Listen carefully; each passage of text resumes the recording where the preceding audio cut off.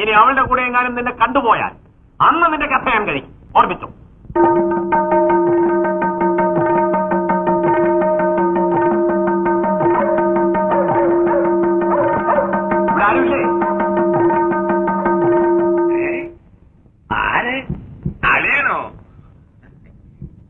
വാ ഇരിക്ക്. ഇരിക്കുന്നില്ല. പതിവില്ലാതെ രാവിലെ വരണമെന്ന് തോന്നി. ജയനോട് വരാറുണ്ടോ? വരാറുണ്ട്. എന്തിന്? അത് ഞാൻ അവനോട് ഇതുവരെ ചോദിച്ചിട്ടില്ല. അവൻ അവനെപ്പോഴും ഈ വീട്ടിൽ വരാൻ പാടില്ല. അപ്പോ തന്റെ അനുവാദത്തോടു കൂടിയാണ് ഇതൊക്കെ അല്ലേ? മനസ്സിലായില്ല. തെക്കൻകരയുടെ മകനെ ആഗ്രഹിക്കാൻ തന്റെ മകൾക്ക് എന്താണോ യോഗ്യത? അളിയൻ എന്തൊക്കെയായി പറയുന്നത് വേലകളൊന്നും എന്നോട് വേണ്ട.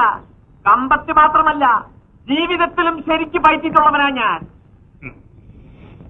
തനിക്ക് എന്നെ പരിചയമുണ്ടല്ലോ ഇടോ ശരീരമേ ക്ഷീണിച്ചിട്ടുള്ളൂ. മനസ്സ് ക്ഷീണിച്ചിട്ടില്ല. കാണാൻ കൊള്ളാവുന്ന പെമ്പിള്ളേരുള്ളപ്പോ തനിക്കൊന്നിനും ക്ഷീണം വരില്ലല്ലോ. പിന്നെ ഓഹത്തരം പറയരുത് കേട്ടോ. വേറയ്ക്കാതടോ ഇടോ തനിക്ക് വലിയ പ്രായമായ ഒരു മകൾ. അവളെ വിറ്റല്ല ഞാൻ ജീവിക്കുന്നത്. എന്റെ വീടായതുകൊണ്ട് ഞാൻ ക്ഷമിക്കുന്നു ഇല്ലെങ്കിൽ അല്ലെങ്കിൽ എന്ത് ചെയ്യും? ഈയോടാണ്?